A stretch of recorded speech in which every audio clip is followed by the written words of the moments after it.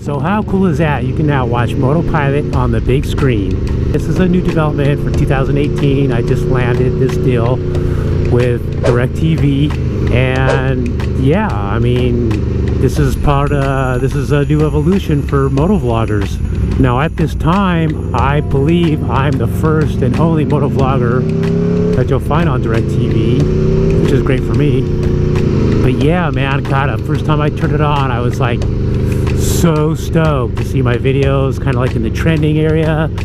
And then you scroll down and you can see my logo and then you click on that logo and it brings up my entire YouTube channel.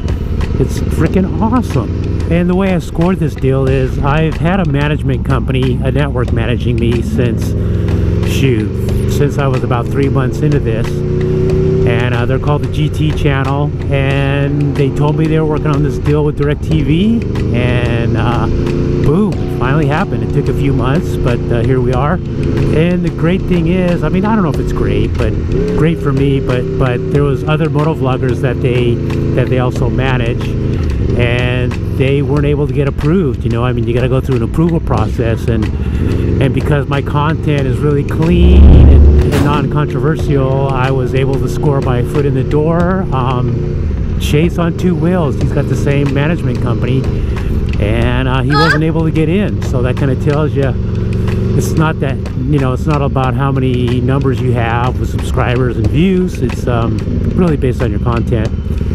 So yeah man guys I, I, mean I mean on one hand I'm super stoked on it. On the other hand it takes away from my monetization. If more and more people start watching me on TV then I won't get paid so on one hand I love it. On another hand I'll just have to see kind of where this goes you know?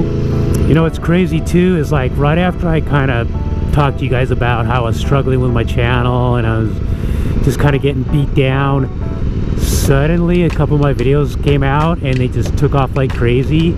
I mean who would think a video about ringing in the ears would take off to 50,000 views in a matter of a couple weeks. And then I did a video about millennials affecting the motorcycle industry and that video took off. And that video is still taking off. My subscriber rate went up from like 10 to 20 a day to 40 to 100 a day. My daily video views like quadrupled. But that's the thing with youtube is you're only as good as your last video and you got to just keep cranking it out.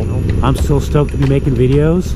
So yeah man i just want to say welcome to all you new people and all you people that have been around for a while supporting me. Um, you know i did put up my patreon page and that thing is it's really not doing very well at all. I have one guy. it's kind of embarrassing, really. But uh, I, have one Patreon. But come on, guys, step it up, man. I got some cool stuff in there you can win. And, uh, you know, I spent a lot of time putting together, talking to all my sponsors uh, to round up all this cool product for you guys. Um, and so I just, you know, I'd love your support, man. But if not, love you watching you know that, that's great too anyhow i don't have a big long video to make about this. Uh, i just want to tell you about my tv debut. And uh, yeah if you got DirecTV go check it out